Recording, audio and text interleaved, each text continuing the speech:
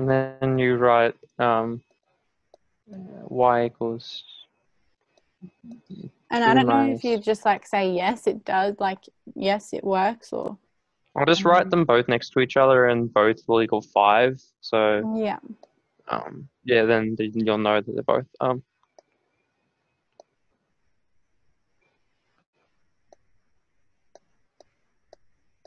I guess we'll do a couple of them.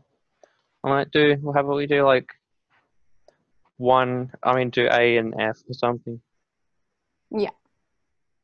So And then- good. You can, if you have to, you can do the rest later, but we might be able to move. We'll have time to move on as well, which will be good.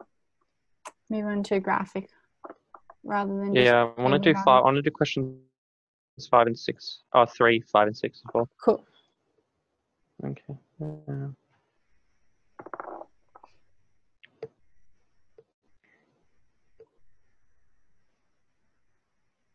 Have you had to do any other Zoom calls with other students? Um, yeah, I did one with Clayton on Friday, and I'll do some more tomorrow. But yeah, I think Zoom's now the way because I think you can only meet with some one other person now. I think Oh. that's the new law that um, Scott Morrison has said. It's just one person meetings of people, you and one other person. So that's why Oh, we okay. do it. But yeah,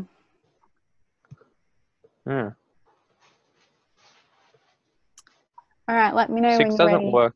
Six, Six doesn't work. So then, Mm, um, you would. I don't know how.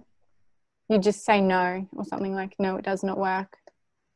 Because it just says check no. if each value works. Yeah. Um. The the second one does, but the first one one doesn't. For F, one's like was minus it? twelve. Yeah. Yeah. So then. It's minus six, minus six, minus twelve. yeah. So and that would not be a point. The other one is minus minus six minus six, which is zero, which works. Yeah. Yeah, that does work. Yeah. All right. Question three. Uh, yes. One second. Y Cool. equals six minus six equals zero.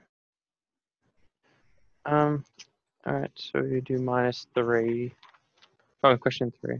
Yeah. So what does it want for this?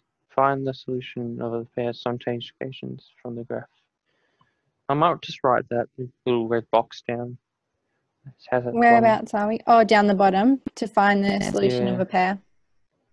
Yeah, I might just Yeah. write that down because So simultaneous equals point of intersection. honestly, at, at school, I don't even need to write notes because um, I have the textbook myself, Yeah. so I always have access to it for reference when going back to study. So my notes are crap anyway. So